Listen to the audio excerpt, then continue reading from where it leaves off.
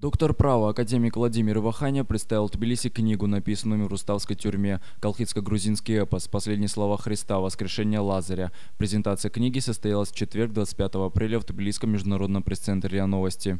Суть этой книги, она, в общем-то, представляет собой трилогию определенную. Э, это «Колхидско-грузинский эпос. Последние слова Христа».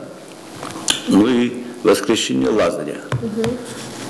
Здесь имеется в виду, то есть э, собраны материалы, документы исторические, научные, э, при котором рассказывается о древнейшей истории Грузии, Э, которую представляла Колхида. Находясь в заключении, Владимир Ваханя изучил более 80 различных источников. Книга была написана автором за полгода, в январе и июне 2011 года. В издании дан анализ исторических документов, как грузинских авторов, так и авторов античных времен – Геродота, Страбона, Ксенофонта, Гиппократа, Родосели, Платона и других. В своих произведениях отмечали, э, хотя это было, так сказать, им, видимо, нелегко или было мало материалов, отмечали, что по существу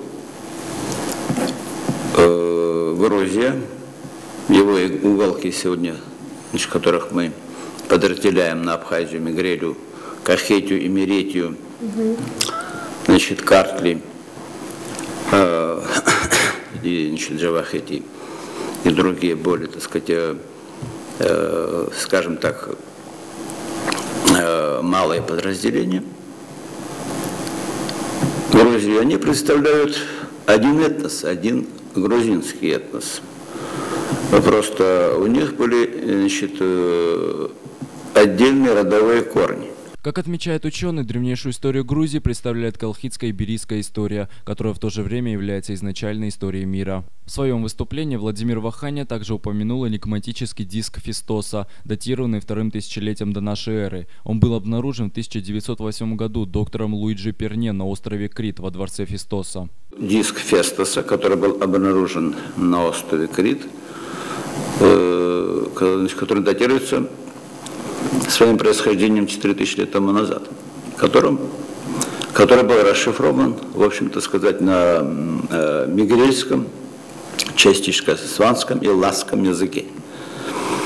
Вот, да, причем э, оно считается в мире значит, первым письменным документом, э, которым были печатные буквы. Вот этот факт, конечно, дает основание еще раз полагать, что грузинская цивилизация значит, является древнейшей цивилизацией, является одним из истоков э, культуры и образования мировой цивилизации.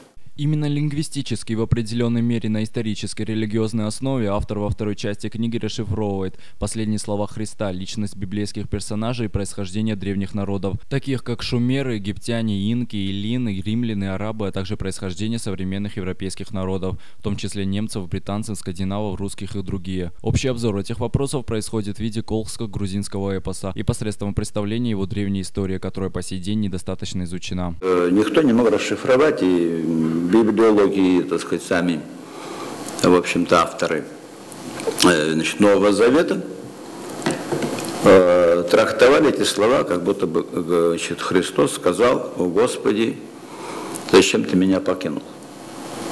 Значит, э, но эти слова значит, не были сказаны ни на еврейском языке, ни на греческом, так сказать, ни на римском, вернее, так сказать, латинском, либо современном итальянском. И, значит, естественно, авторы, свидетели значит, этих слов, напрямую, как они услышали, так и написали. Значит, слова были «Эли, Эли, лама сабактани», что, в общем-то, шифруется, значит, скажем так, как «Отче мой, я иду к тебе». То есть он сказал, что э, не то, что сказать, не верит отцу своему, создателю э, говорил, что значит, последние слова были, что он идет значит, к отцу своему. Будем так говорить, что его царство, так если вот говорить богословным языком. И этот, эту расшифровку этих последних слов Христа я значит, сделал на мигрейском языке, потому что, то есть я бы сказал бы так, не то, что на мигрейском, это, наверное, уже быстрее всего колский язык, который э, был более богаче, имел э, гораздо больше слов. Третья часть книги посвящена стихотворению Иоанна Засиме «Хвала и слава грузинскому языку», написанному еще в V веке. Иоанн Зосиме э, в зашифрованном виде предсказал, э, что второе пришествие Христа будет в Грузии. И сказал, что секретом э, языка, секретом, значит, э, целом